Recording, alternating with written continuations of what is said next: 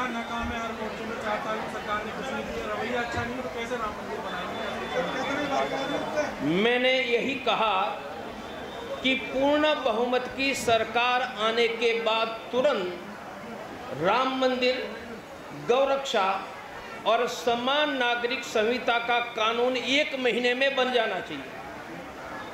हमने राह देखी। हमको लगा था कि एक दो साल में बनेगा।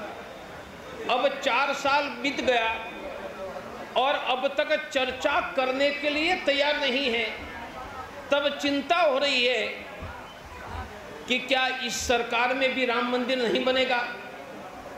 और दूसरा मुद्दा, राम की जन्मस्थली में अयोध्या में बाबरी मस्जिद बनाने का षड्यंत्र चल रहा है। यदि हिंदू सावधान नहीं रहा तो मंदिर बनेगा या नहीं बनेगा मुझे पता नहीं है।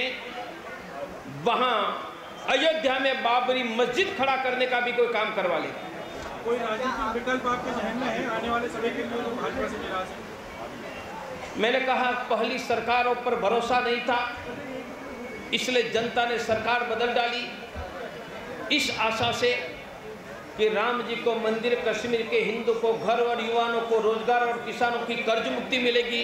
व्यापारियों का व्यापार बढ़ेगा। व्यापारी रो रहे हैं। मुरादाबाद से मुंबई से लेकर कोयम्बतूर व्यापारी मिल रहे हैं। आज भी सुबह सब रो रहे थे। इसलिए देश में बहुत बड़ी चिंता की स्थिति है?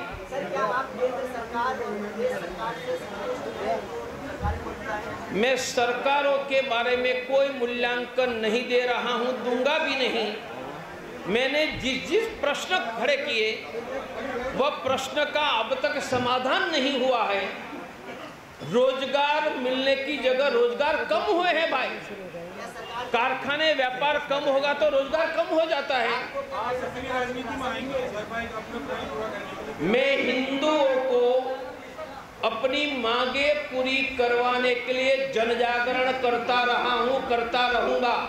वैचारिक रूप से ये देश की जनता के सामने विकल्प नहीं है वह आज दिख रहा है।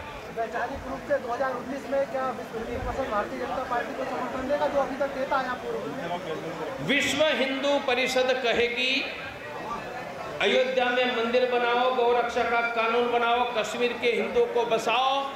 दस करोड़ हिंदू युवाओं को रोज़गार करके किसानों को कर्ज मुक्त करो और नहीं करोगे तो जनता अपना रास्ता ढूँढने के लिए मजबूर हो जाएगी।